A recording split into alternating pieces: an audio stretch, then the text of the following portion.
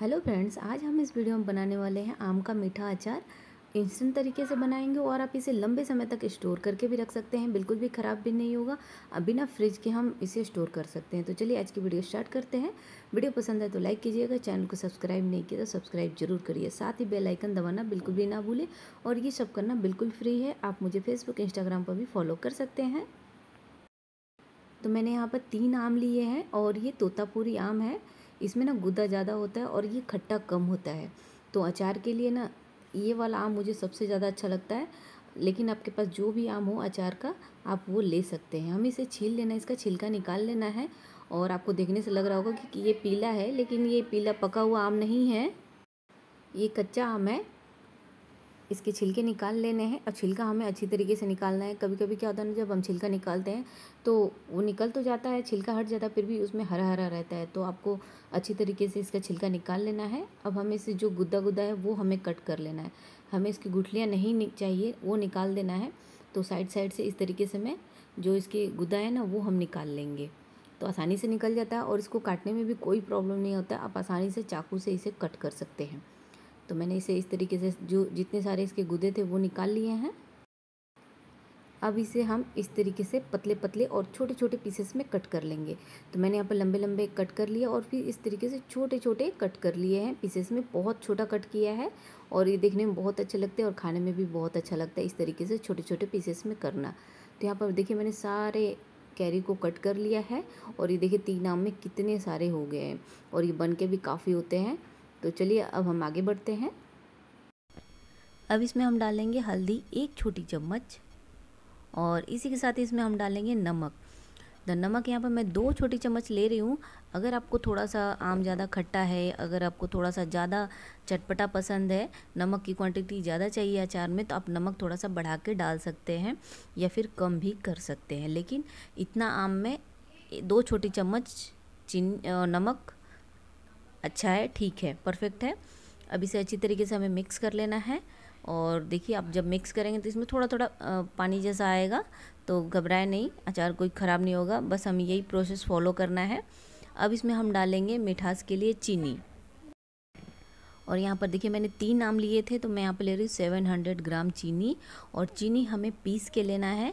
तो आप अगर आम ज़्यादा खट्टा है तो चीनी की क्वांटिटी आप बढ़ा के भी ले सकते हैं। जैसा कि मैंने बोला कि ये आपके आम के ऊपर डिपेंड करता है कि आप कैसा आम ले रहे हैं।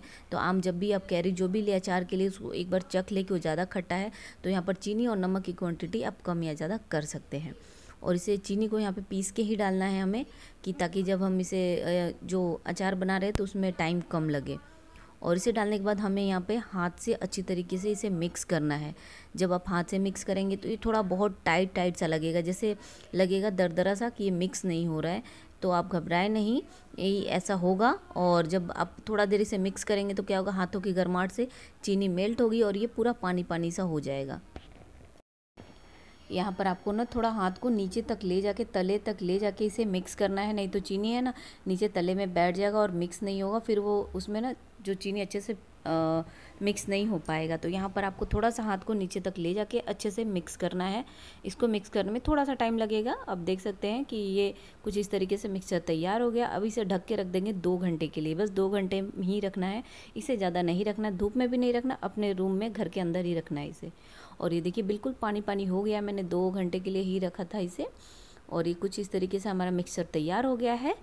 अब हमें कुछ नहीं करना है, बस अच्छे से मिक्स कर लेना है, क्योंकि चीनी जो होता है ना, नीचे तले में बैठ जाता है तो इस, एक बार इसे चम्मच से इस तरीके से हिला ले।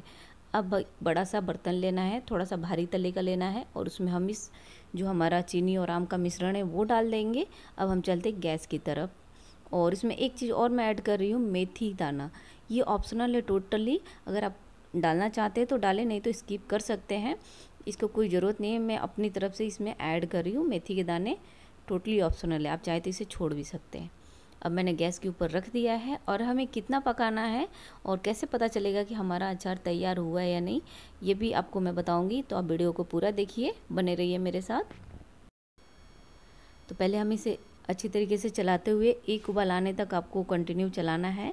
नहीं तो चीनी अभी भी चीनी को हम कितना भी पीस के लिए तो वो एक बार में जब हम कहीं ज़्यादा क्वांटिटी में डालते हैं तो नीचे तले में बैठ जाता है। जब तक इसमें उबाल ना आए, तब तक आप चलाते रहें और हमें तब तक पकाना है जब तक ये एक तार की चाशनी जैसी ना हो जाए, उतना हमें पकाना आप देख सकते हैं कि अभी ये बिल्कुल पानी के जैसा है हमारा चाशनी। एकदम जैसे पानी होता है ना, उसी तरीके से है। बस हमें इसे गाढ़ा होने तक पका लेना है और इसको पकाने में आपको 10 से 12 मिनट लग सकता है अगर हाई फ्लेम पर आप चलाते हुए पका रहे हैं तो। और इस तरीके से आप प्लेट में डाल के चेक करें कि उसमें एक तार बनी है या नहीं। लेकिन अभी ये तार नहीं बनी है तो आप दो से तीन बार इस तरीके से अलग से चाशनी निकाल के हाथों में लगा के देखें। अगर चाशनी तैयार हो गई है एक तार की तो हम इसे बंद कर देंगे, क्योंकि गड़ा होने के बाद भी थोड़ा सा ये और थिक हो जाएगा, ठंडा होने के बाद।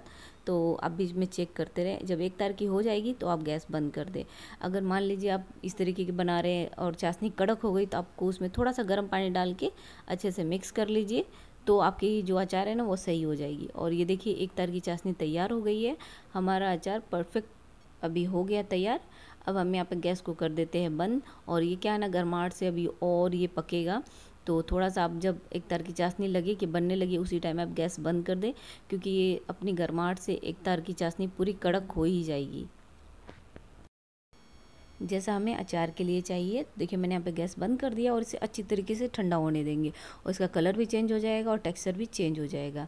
तो आप देख सकते हैं मैंने यहाँ पर इसे ठंडा होने के लिए रख दिया था, लगभग दो से तीन घंटे के लिए दो से तीन घंटे में ये ठंडा होकर तैयार हो गया है।